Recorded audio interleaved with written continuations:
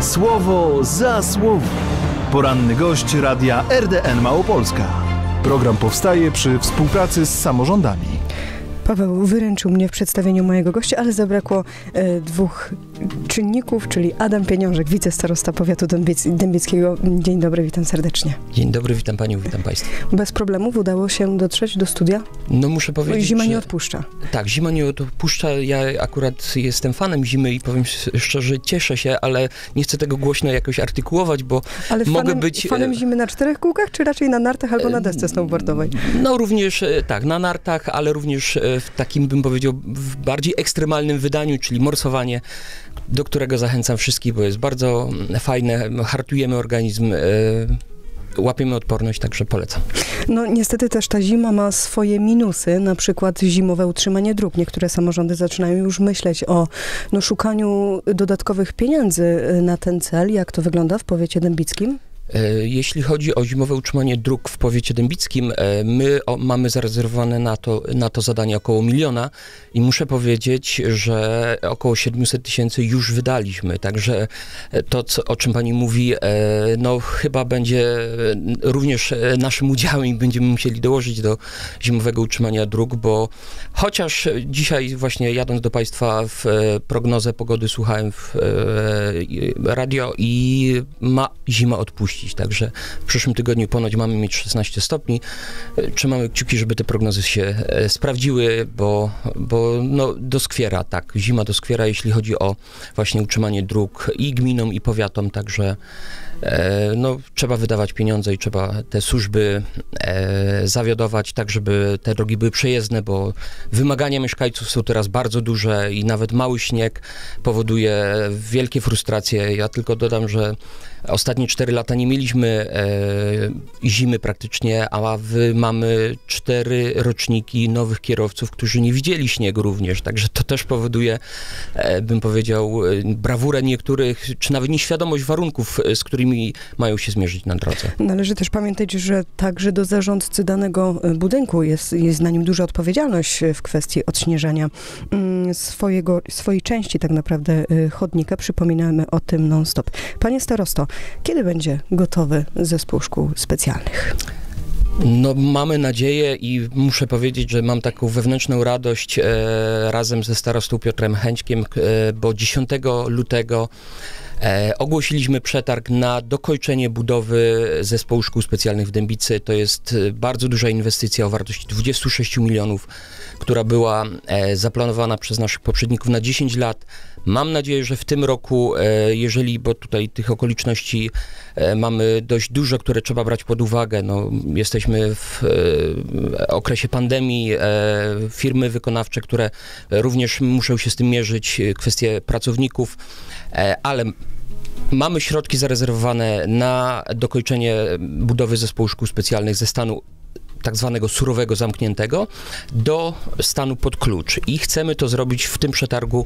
Określiliśmy datę 31 grudnia 2021 roku, zakończenie tego etapu. E, Kwestia wyposażenia, także myślę, że od, nowe, od drugiego semestru nowego roku szkolnego będziemy mogli e, już e, otworzyć szkołę specjalną w nowym budynku. Na te inwestycje właśnie powiat otrzymał to rządowe dofinansowanie, więc te kwestie y, finansowe nie są zagrożone.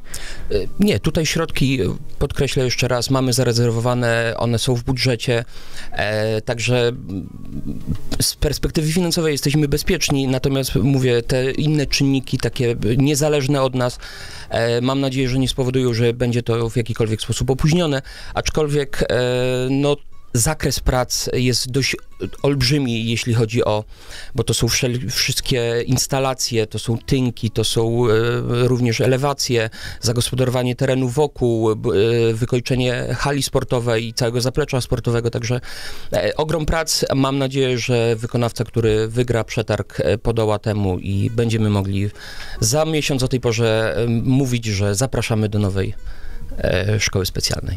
W takim razie za miesiąc będziemy pytać, czy już, czy rzeczywiście e, powiat dębicki zaprasza. Mm, Niektóre małopolskie szpitale zamykają swoje oddziały covidowe, po prostu nie ma takiej potrzeby, żeby w jakiś sposób blokowały mm, dostęp dla pozostałych y, pacjentów. Tak jest między innymi w Brzesku. Jak wygląda to w powiecie y, dębickim? E, My jesteśmy jednym z trzech szpitali w województwie podkarpackim, e, tak zwanych covidowych i tak jak jeszcze w okresie tej drugiej pandemii, drugiej fali pandemii, e, przełom października, listopada, mieliśmy przygotowane e, dla pacjentów covidowych około 230 łóżek. E, maksymalne obłożenie tych łóżek to było około 180 pacjentów właśnie covidowych.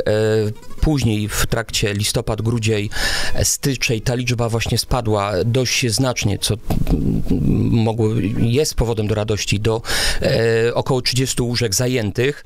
Na chwilę obecną mamy trzy oddziały tak zwane covidowe, e, na których jest 73 miejsca i niestety te miejsca się wypełniają praktycznie w 100% i ta liczba e, zakażonych, liczba chorych e, właśnie przyjmowanych na nasz oddział covidowy rośnie niestety i tutaj chciałbym zaapelować właśnie również do radiosłuchaczy, żeby jednak no, słuchać tych obostrzeń i zaleceń ministra zdrowia, bo i dbać o bezpieczeństwo swoje i innych, bo jednak to jest nasza odpowiedzialność, żeby dbać o swoje zdrowie, a przede wszystkim o zdrowie tych, którzy mają mniejszą odporność, czy mają choroby przewlekłe. No właśnie pamiętamy, co y, działo się w ubiegły weekend, chociażby w Zakopanem. Mm, czy zauważa, zauważacie Państwo właśnie to poluzowanie tej odpowiedzialności społecznej e, w powiecie dębickim? No znacząco, tak jak mówię, jeszcze w styczniu mieliśmy obłożenie na poziomie około 30 łóżek, teraz mamy powyżej 60, także e, ta liczba e, rośnie. E, I myślę, to jest kwestia czasu, jak e, otrzymamy właśnie polecenie od wojewody, żeby tych łóżek zabezpieczyć więcej. Zresztą no już e, przymierzamy się, no doświadczenie mamy, bo tak jak wspomniałem wcześniej, tych łóżek było ponad e, 200 gotowych, także tutaj możemy kolejne oddziały wyłączyć, aczkolwiek no to też się odbywa kosztem obsługi No właśnie, co z pozostałymi pacjentami? no to działa w ten sposób, że jeżeli wyłączamy dany oddział, to pacjenci, które, którzy e, no, mieli zaplanowane, są kierowani do innych jednostek po prostu, także bądź, bądź przesuwane są terminy. Tak to wygląda niestety. Co z przedsiębiorcami w, w powiecie tarnowskim, w powiecie sądeckim? e, Sanepid ciągle kontroluje chociażby restauratorów, którzy postanowili, mimo panujących obostrzeń i zakazów, otworzyć e, swoją działalność w powiecie dębickim. Też są, też mają miejsce takie sytuacje? Znaczy z tego, co inaczej, do nas nie docierają e, żadne sygnały z naszego e, powiatowego inspektoratu sanitarnego, żeby takie zdarzenia miały miejsce. Może okazjonalnie, ale mówię, z tego, co ja mam wiedzę na dzień dzisiejszy, takie rzeczy nie miały miejsca.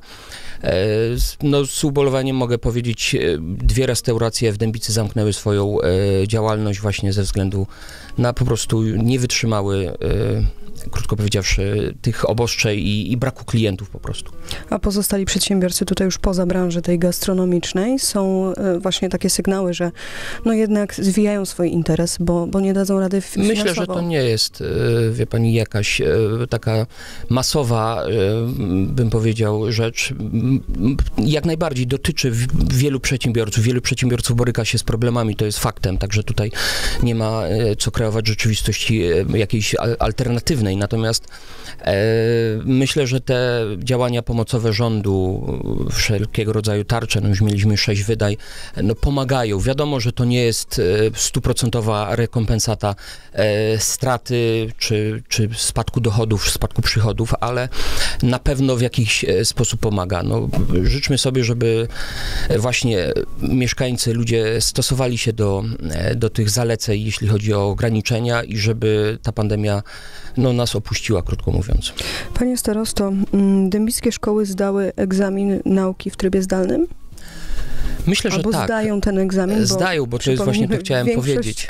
szkół nadal e, uczy się e, w, Tak, w no zdalnym. jedynie nauczanie 1-3. Mieliśmy nadzieję, że od marca zostaną odmrożone ósme klasy, a tak jak w naszym przypadku, co bardziej istotne, e, klasy maturalne, no bo jednak ten najważniejszy egzamin w życiu młodego człowieka, jakim jest matura, mm, trzeba się do niego dobrze przygotować, a jednak rok pracy z, zdalnej, jakość tej pracy no, na pewno nigdy nie będzie taka sama jak pracy tej stacjonarnej ucznia z nauczycielem w szkole. E, myślę, że zdają. E, ujednoliciliśmy już od września wszelkiego rodzaju platformy, na których odbywa się to nauczanie zdalne. E, było był cykl szkoleń dla nauczycieli, również dla dyrektorów. didn't Odpowiadamy bardzo aktywnie również na potrzeby dyrektorów, które są zgłaszane do nas jako organu prowadzącego dla szkół ponadpodstawowych, jak na przykład chociażby w miesiącu bodajże grudniu zakupiliśmy, czy w listopadzie e, tablety graficzne dla nauczycieli matematyki czy fizyki, bo jednak e, no, inaczej e, inny odbiór jest, e, kiedy nauczyciel może ma przynajmniej tą namiastkę tablicy e, w prowadzeniu właśnie lekcji, zajęć z uczniami. Pana zdaniem ten czas pandemicznej nauki zdalnej odbije się na poziomie wykształcenia młodych ludzi? No, na pewno będzie miał duży wpływ. No, w jaki sposób się odbije, ja mam tylko nadzieję, że te, ten rocznik, który no, teraz e, no, praktycznie od 13 marca, bo za niedługo będziemy mieć rocznicę, e, uczestniczy w tym nauczaniu zdalnym e, gdzieś e, w dalszych etapach kształcenia, czyli studia, czy dalsze lata w szkołach średnich czy branżowych, e, zostanie zniwelowany. Taką mam nadzieję. Tak jak mówiliśmy, tylko klasy 1-3 szkół podstawowych wróciły do tej nauki stacjonarnej, ale odbywają się także praktyki zawodowe. Jakich fachowców szkoli powiat dębicki?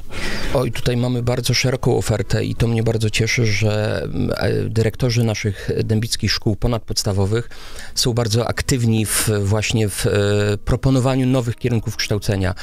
E, Jest taka lista ministerialna tak zwanych kierunków, czy kierunków kształcenia, czy zawodów, na które jest duże zapotrzebowanie. I mogę powiedzieć, że 90% kierunków w szkołach powiatu dębickiego, i to zarówno w technikach, jak i e, w liceach, czy w e, szkołach branżowych, właśnie jest z tej listy. Z takich ciekawostek i bardzo popularnych e, kierunków, które wybierają teraz dzieci, młodzież, przychodząc do naszych szkół, to jest technik fotografii, czy technik multimediów. Teraz szkoły proponują takie kierunki, jak na przykład technik e, serwisu e, terminali i portów. Zobaczymy, jak to się e, przyjmie, krótko powiedziawszy, bo to rynek i młodzież będzie weryfikować, czy akurat takie e, kierunki e, no, będą popularne. A jakich fachowców potrzebuje rynek pracy, y, dębicki rynek pracy? E, No to są te zawody, które kiedyś były, powiem może brzydko, ale rugowane, czy może niedoceniane, ale to jest mechanicy wszelkiego rodzaju, mechanik samochodowy, to jest budownictwo. E, W ubiegłym roku wprowadziliśmy kierunek, e, bo nie było w powiecie, e, kierunek technik geodeta, e, który spotkał się może nie z jakimś dużym zainteresowaniem, ale na tyle dużym, żeby utworzyć klasę technik spawalnictwa, także wszystkie te takie e, ślusarskie, mechaniczne zawody cieszą się, no plus oczywiście standard jak informatyka, teleinformatyka, e, to są te zawody, n- które wybierają bardzo często właśnie młodzi. Czyli młodzi ludzie wracają do tych trendów z przeszłości zawodowych. E, I możemy się tylko z tego cieszyć, bo za niedługo nie będzie kto miał naprawić buta, chociaż nie wiem kto teraz chodzi do szewców, ale do mechanika samochodowego bardzo często i bardzo wiele osób korzysta na pewno. Wicestarosta powiatu dębickiego Adam Pieniążek był moim i Państwa gościem. Bardzo dziękuję za rozmowę. Dziękuję Państwu.